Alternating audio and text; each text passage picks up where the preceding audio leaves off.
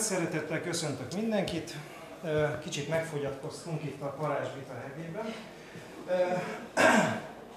Én Nagy Gábor vagyok, néprajzkutató, népzenész, József Attila Múzeumban dolgozom, és a Szegedi Egyetemen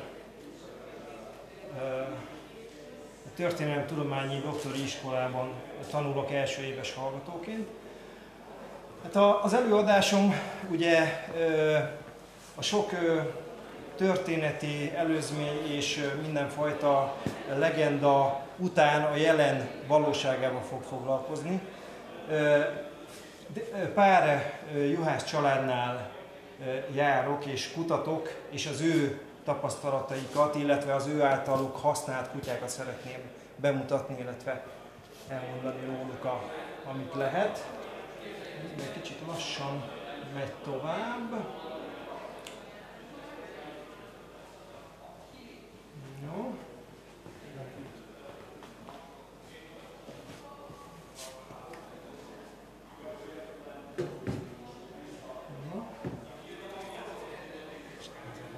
Tessék?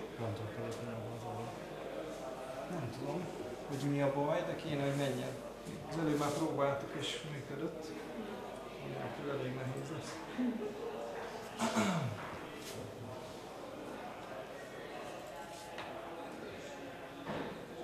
Jó.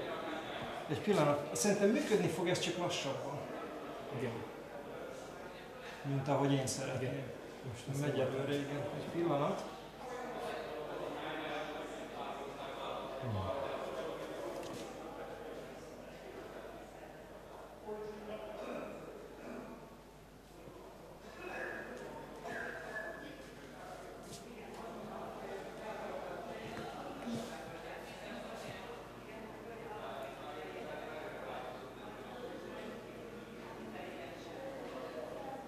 Jó, szerintem rakjuk ki nagy képernyőre, aztán csak betölti. Nagy adat állomány igazából. Azért egy ilyen lassan. Tehát, előadásomban a bevezetés részként a személyes motivációimat szeretném megosztani önökkel, illetve a kutatás módszereiről, idő- és térbeli kereteiről fogok beszélni, illetve arról a kutatásról, amit úgy egyáltalán végzek, pásztor nemzedékeket kutatok ugye itt a Délaföldön. Akkor rátérünk arra, hogy milyen kutyafajtákat találtam én azoknál a juhász családoknál, akiknél jártam, ugye. És két példát, két gazdaságnak a, a kutya használatát szeretném, szeretném elmondani. Hát a személyes motiváció az ott kezdődik, hogy én népzenészként egy érdekes hangszeren játszom, Bőr Dudán, és hát 90-es évek közepén kezdtem ezt a hangszert tanulni, és megismertem Pál Istvánt, aki Tereskén lakott Nógrád megyében, ő egy sok generációs juhász család tagja volt, pásztor család ivadék, akitől ezt a fajta zenét meg lehetett tanulni. Én amikor vele találkoztam, először a zenéről volt szó, aztán körülbelül egy évtizedig jártam hozzá folyamatosan beszélgetni, illetve tanulni. Előjöttek más dolgok is, ami a pásztor kultúrának a részeit mutatják. Így a kutyák is, ugye. Itt lehet, hogy kicsit lejjebb veszem a villanyt, lehet. Ő, ugye látjuk Pál Istvánt, ott van, a, aki népművészet mestere volt, kiváló zenész, a, a nép, néphittől a pásztorművészetig, illetve minden, minden területének a, a pásztorművészet, pásztor kultúrának minden területét ismerte. Ugye meg volt, hogy ő puli-pumi keresztezés kutyákat szeretett használni, és hát körülbelül hasonló menő viták voltak más pásztorokkal, mint amit az előbb láthatunk itt az előadók, illetve a hozzászólók között is, hogy melyik a jó pásztorkutya, mi a jó pásztorkutya. Ő ugye ezt a fajtát használta, a másik területen gazdálkodó, illetve a másik területen pásztoroló ember lehet, hogy más kutyát mondott esetleg. És hát ugye gazdálkodás területének ökológiai és természet földrajzi jellemzői nagy hatással vannak arra, hogy melyik pásztorkutyák tudnak jól ö, beválni azokon a területeken, illetve hát itt elég rosszul látszik a gazdálkodás időbeli változásaira is ö, adnak válaszokat ezek a pásztorok. Ugye Herman Otto 1914-ben kiadott könyvében ír a puliról, ahol a vélemény egy kabai juhásztól van, hogy a pásztorok a fajt gondosan tisztán tartják, mint a kabai öreg juhász mondta, mert csak az az igazi puli, akit a kanpuli puli szukán épített. Ugye itt egy tiszta vérvonalat próbálnak mutatni, a kiváló tulajdonságok uh, átöröklődnek, és ezt a pásztorok jól tudják. Leginkább juhászok használják, mert első rangú nyájteremű. Én két adatközlőmtől szeretnék idézni, egy felgyői juhásztól, Palásti János Sikártól. Ő, ő azt mondja, hogy nem a tiszta vér, keverni kell, abból lesz a jó kutya. Neki német puli, sinka, mudi, puli keresztezésből való terelő kutyái vannak. Uh, ifjabb Dantes József Jutortól, akinek az édesapja és nagyapja is juhász volt, Félegyháza és Vásárhely környékén. Uh, nézem a kutyáit, milyen kutya ez? Pásztorkutya. De, de milyen fajta? Hát egy korcs, mi tenyésztjük. És hogy? Ugye funkciós szempontok alapján, amit hallottunk, a különféle komoly pásztor családoknál volt egy állatállomány is, nem csak amit őriztek, hanem amivel dolgoztak. A munkaállatoknak a híre is ment tovább, mind a generációk között, mind a munka kapcsolatokban, és így próbálták ezt kialakítani. Akkor a jutartó gazdálkodást gyakorlók a 20. század végéig sokszor napjainkig legeltető gazdálkodást is folytatnak, de a 90-es évektől következik egy alapvető váltás a magángazdálkodás újra szervezésének évtizedeitől, az addig vándorló legeltető gazdálkodási mód egy saját területet birtokló, legelő kertes gazdálkodási módá alakul a családi jutartó gazdaságok nagy részénél. Itt láthatunk egy képet, ez Makó mellett látható az egyik híres juhász dinasztia, dinasztia, a Dani dinasztiának egyik képviselőjével. Ugye látszik, hogy még kint vannak egy területen, nincs körbekerített rész egyáltalán. Azzal a dédapát láttuk, itt az unoka, az unoka már ugye körbekerített területeket birtokol, és igazából így nem is legeltet, hanem a különböző legelő kertekben tartja az állatokat és takarmányozza mellette. Visszatérve Pál Istvánhoz, itt egy pár fotó a kutyáiról még, ugye büszke gazda, illetve a, a kutyája. Itt már ő, ő nyugdíjas volt, nem volt saját állatállománya sem, tehát nem használta az állatokat, már csak tartotta, de erre többször volt, hogy kimentünk sétálni vele ott a környékbeli területekre, és még, még tudtak a, a kutyák be voltak tanítva rendesen, tudták a vezényszavakat, illetve a jelzéseket, amik, amiket ő megtanított nekik. Ugye milyen módszereket használok? Terekmunka, néprajzi fotó és interjút írtam fel. A terek munka az általában különböző településeknek a külterületén található gazdálkodási helységekre vonatkozik. Hát ugye sokszor, amikor az ember megérkezik, akkor egy hasonló látvány fogadhatja. Ugye általában már ismernek, a, akikhez megyek, így én is ismerem őket, kutyáikat is, hála Istennek, de azért van, hogy néha megvárom a gazdát, hogy ugye jöjjön és beengedjen. Itt láthatunk már terelőkutyákat, ugye, és most abban a helyzetben lehet egy, egy kuvasz is, vagy, vagy egy ilyen border collie ilyen állapotban, ugye, amikor megérkezik az ember.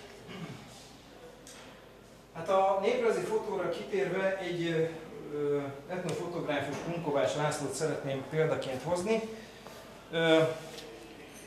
2016 óta személyes kapcsolatban állunk, sokat tanulok tőle, ugye többen ismerjük szerintem, akik a pásztorkutyákat szeretik, szerintem ők is ismerik a nevét.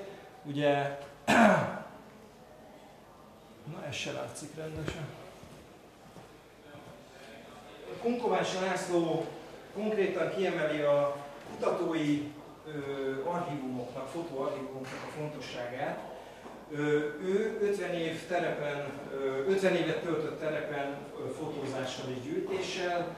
Az 50 évnek a termése 450 ezer tétel, ami nem csak megvan, hanem odatolt is, tehát általában tudja, hogy hol, hol mikor és kilátható azon a felvételen.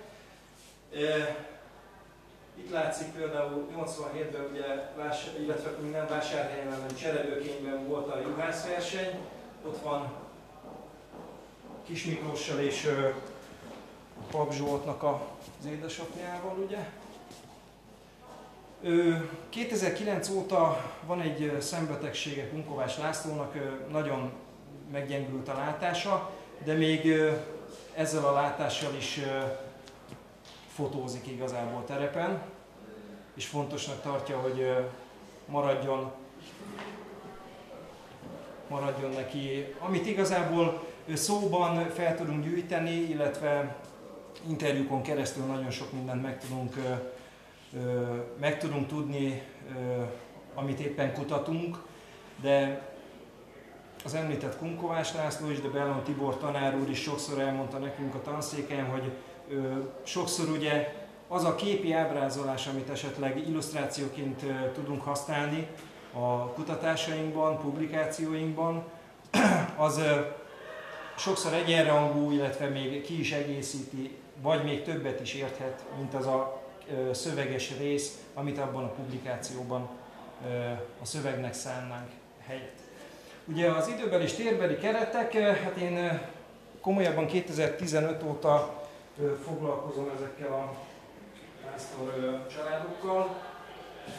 Itt látható ugye, hogy hát az időintervallum az főleg a 20-21. század, vannak korábbi előzmények is, de a jelenre vonatkozik a kutatás nagy része. A kutatás földrajzi területe a jelenlegi Csongrád megye területe, Ülés, Hódmezővásárhely, Szentes Makó, Családpalota, és még Nagylaki részen is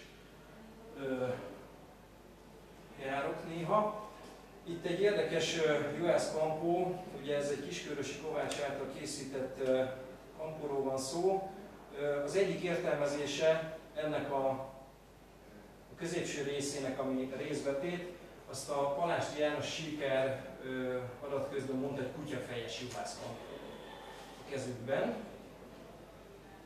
Említettem, hogy juhász családokat, több generációs, több generációs juhász családokat kutatok, többfajta szempontból, származás, etnikum, etnikumi származás, gazdálkodások, túlélési technikáik, népművészeti gondolkodásmóduk, és a foglalkozás miatti, miatti identitás jellemzőit is próbálom kutatni. A képen egy, egy nagyon korai képet láthatunk, 1910 10 és 15 között datálható a, a kép, ez a Makó mellett készült, és egy juhász látható rajta. Ugye a 20. századból, illetve a 19. század második felétől elindul a fotográfia, lesznek képi ábrázolások is, bár itt a ilyen terepen azért általában, vagy ennél a népcsoportnál kevesebb az ilyen ábrázolás, úgyhogy ez például egy ritka, ritka dokumentum, amit találhatunk. Na, térjünk rá, azok, akikhez járok családok, milyen kutyákat használnak, őrző és terelő kutyákat is. Az őrző kutyák között megtalálható a kuvasz, ez egy ülési gazdaságban. Van az ismert kommandorok, ugye, akiket már láttunk, ez vásárhelyen. És hát itt ugye már nem a nagy ragadozók miatti használat van, hanem tanyavédelem, illetve területvédelemre használják ezeket a, az állatokat.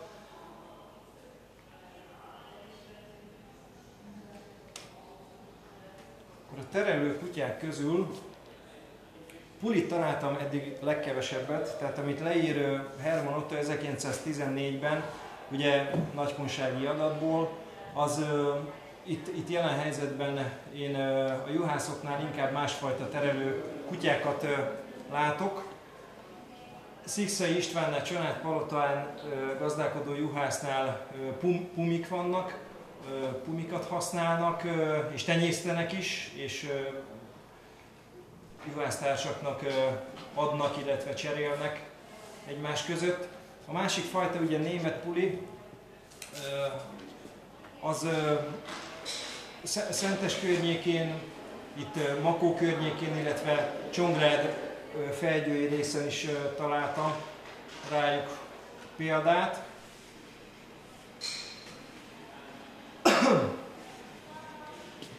Vannak sinkák is, az ülésen ugye, ülésen fotóztam őket. És hát vannak ö, nem magyar fajták is, így border collie például, ülésen vagy makón is. És megjelenik a kelpi vagy a kelpinek egy, egy keresztezett változata is. Akkor a két gazdaságról beszélnék egy kicsit, két példát vagy mutassam be önöknek. Az egyik egy több generációs juhász család Budmező vásárhelyről, horvát Dantes juhász család, így írtam le őket. Az első generációs képviselő Horváth József volt, aki származásilag Erdélyből érkezett, Félegyházi, Félegyházen született, Kiskun Félegyházen született már, és aztán többfelé volt juhász, de letelepedni a 1925-ben vásárhelyen telepedett le, és ő komondor és magyar pulit használt, mint kutyát, az elmondások szerint sajnos fénykép nincs róla. A fia, Dantes József, ugye nem voltak házasok a feleségével, ezért az édesanyja nevét kapta a pásztorember. Dantes Ilona volt az édesanyja. Ő már vásárhelyen született, és ő, ő Commodore Pulit, Mudit és ezt a fajta pásztor kutyát, amit a fia is említett, egy ilyen keverék pásztor kutyát használt, meg használ mai napig. Ugye itt van Józsi bácsi tavalyi fotón. És hát a harmadik generáció, a, a ifjabb Dantes József, ő is egy, egy tenyésztő igazából, aki aki ismerve, az édesapja által is ismert kiváló pásztorembereket, akik használták ezeket a kutyákat, meg használják mai napig, egymás között párosítják ezeket a kutyákat és használják. Ugye jobbvérű pásztorkutyák, ott van kipróbált jobbvérű pásztor kutyáknak az ivadékairól van szó. A családnak egy egy tagja, Dantes József sógora, is juhász, volt egész életében, Szólát Ferenc, ő is tenyésztett is kutyát és használt is, itt látható a család mostanság. Akkor egy változás, igazából változás vizsgálat, hogy milyen kutyákat használtak ugye a 60-as években és jelenleg. 60-as években említettem ugye, hogy az első generációs juhász, Horváth József még magyar puli terelő kutyákat használt. Ezt fia Dantes József itt a szamára, és használt egy ideig, aztán a munkatársaival elkezdtek egy, egy ilyen keresztezést folytatni, és minél jobb terelőkutyákat kitenyészteni.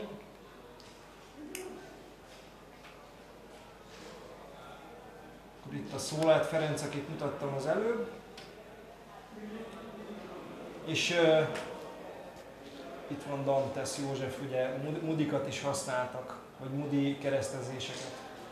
Akkor uh, az őrző kutyákból Danteszék jó ideig tenyésztették a komondorokat, jelenleg ez megállt, egy, egy darab, egy példány van már csak náluk, a többiek, többiek sajnos elpusztultak.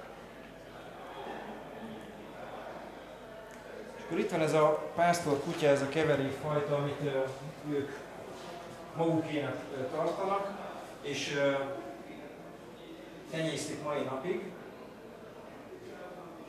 Itt látható a jelenlegi állomány. Akkor hogy a fajtával szembeni elvárások. Ugye ismerjük a sinka fajtáját, a sinkának a jelentése az, hogy sima, egyenes.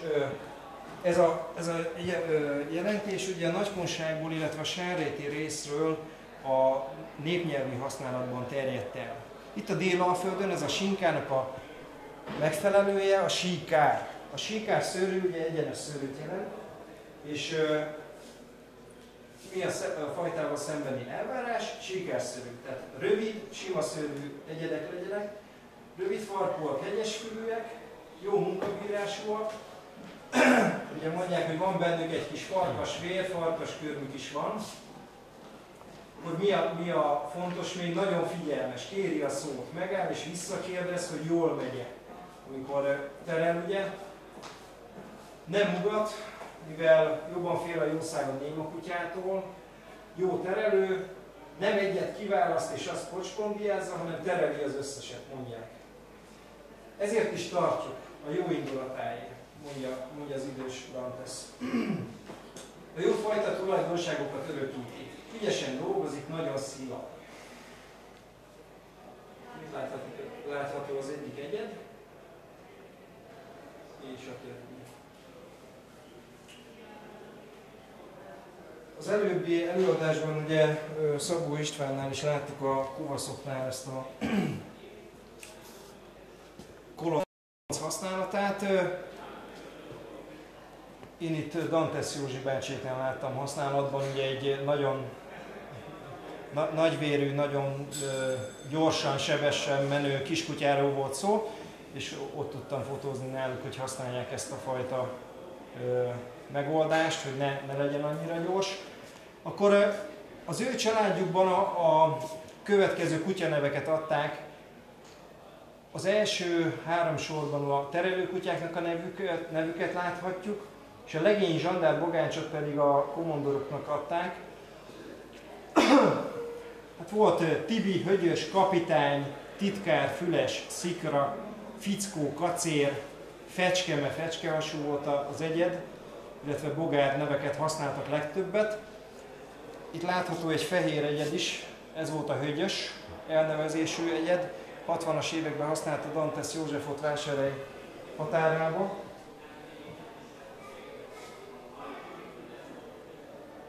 Nagyon ö, ö, strapabíró kutyák. Itt az egyedet látjuk az anyát, ö, átment rajta egy ö, valami nagyobb teherautó, vagy nem tudom micsoda. Megmaradt, az egyik szemét elvesztette, de mai napig egy nagyon jó terelőkutya.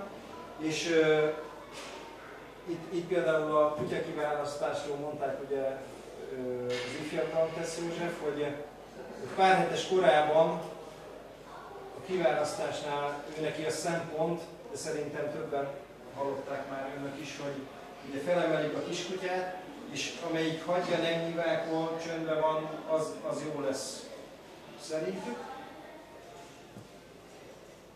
Akkor különböző kutyatanítási módszerek, amiket használnak, ugye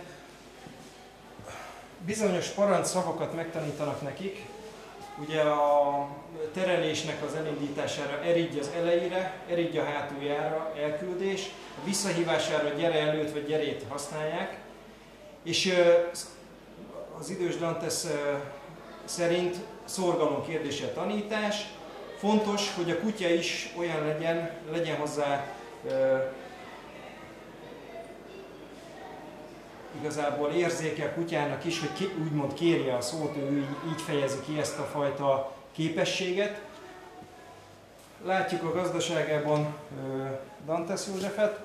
A kutya mindig itt van mögötte. Gusti, ja, Gusti, még az egy kutya név. Az ő az egyik kutyáját Gustinak hívják, és mindig ott van a háta mögött. Ahova megy, kíséri, megy vele, és figyel, a, amit mond.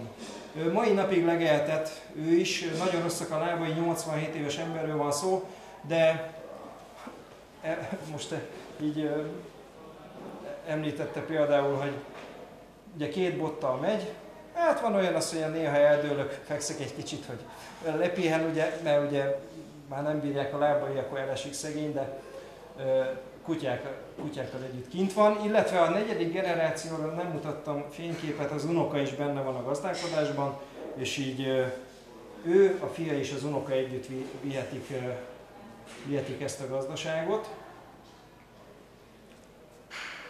Akkor egy másik példát engedjenek meg. Lajkó Levente gazdasága ülésen.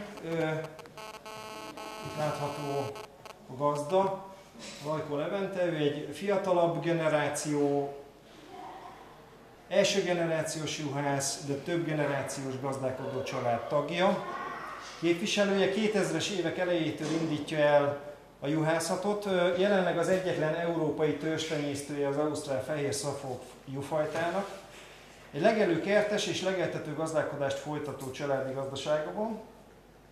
Van egy juhászmestere, Árvai Sándor úgy hívják, többen ismerhetik a nevét. Ő jelenleg Lénárd Darócon él, de 50 éve dolgozott a Hortobágyon, és több generációs gömöri juhász család utolsó képviselője, a Hortobágy örökös pásztora cím tulajdonosa. Tőle, tőle tudott tanulni Levente, a tanulási folyamat az volt, hogy egy évig lakott Ervai Sándor, nem folyamatosan, de nagyon sokat Leventénél, és amit tudott, mivel neki nincs családja, nincs fia, aki ezt tovább vinné, ő átadta azt a tudását, amit ő tudott ezzel kapcsolatban a,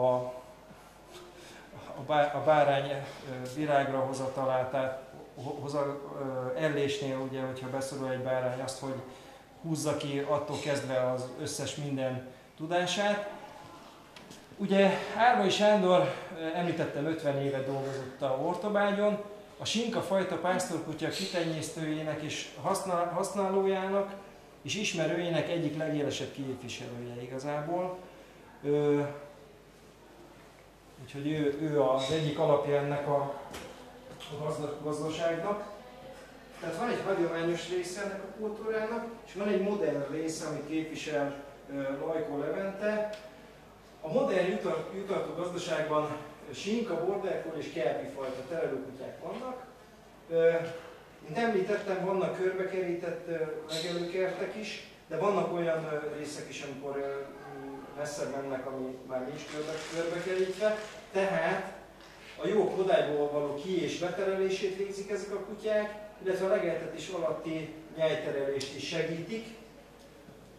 Ez sokszor Levente már nem is tudja követni, illetve nem is tudja segíteni. Ezt édesanyja végzi, ugye Etan Énit itt láthatjuk a kis terepjáróban, és a modern gazdaságban a sinka kutyák, amit, amit használtak a Hortobágyon, ugye a 60-as, 50-es, 60-as évektől ezek a pásztoremberek, azok itt rohannak a terepjáró mellett és segítik a legeltetést az édesanyának, aki magát csak öreg juhásznak szokta szólítani.